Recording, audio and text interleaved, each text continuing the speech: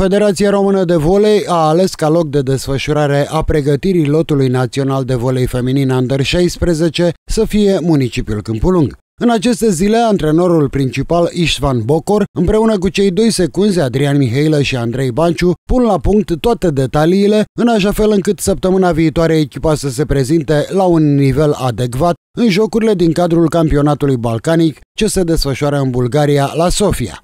Cele 18 fete, între care și cele două mușcelence selecționate, Daria Bragă și Beatriz Mângâță, trag din greu la antrenamente în sala de sport de la școala gimnazială Nano Mușcel pentru a ajunge la forma sportivă corespunzătoare jocurilor ce le așteaptă. Care este nivelul atins până în acest moment și ce obiectiv au stabilit federalii, ne-a dezvăluit antrenorul secund Andrei Banciu.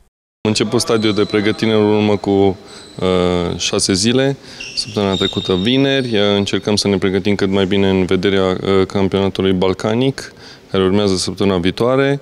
Încercăm să adunăm fetele și să le pregătim pentru competiție. Încercăm să creăm o echipă și să formăm uh, un lot competitiv Obiectivul principal este studarea relațiilor de joc și uh, învățarea cât mai uh, bună a strategiei de joc a echipei naționale. Primul joc întâlniți selecționat a Turciei.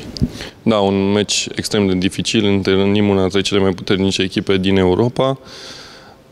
O să avem uh, în față un adversar bun, dar sperăm să facem față și sperăm ca în urma pregătirii uh, de aici, de la Câmpul Mușcel, să fim pregătiți pentru primul test. Și indiferent de rezultate, important pentru fete este că vor câștiga experiență și le aveți în pregătire pe viitor.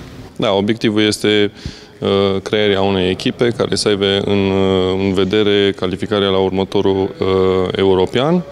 Uh, primul test fiind uh, campionatul balcanic, uh, venim după o perioadă destul de scurtă de pregătire, deci nu avem un obiectiv exact, un rezultat nu avem un obiectiv să facem rezultate măreți, avem un obiectiv ca jocul să fie bun, să vedem toate fetele la treabă în competiție.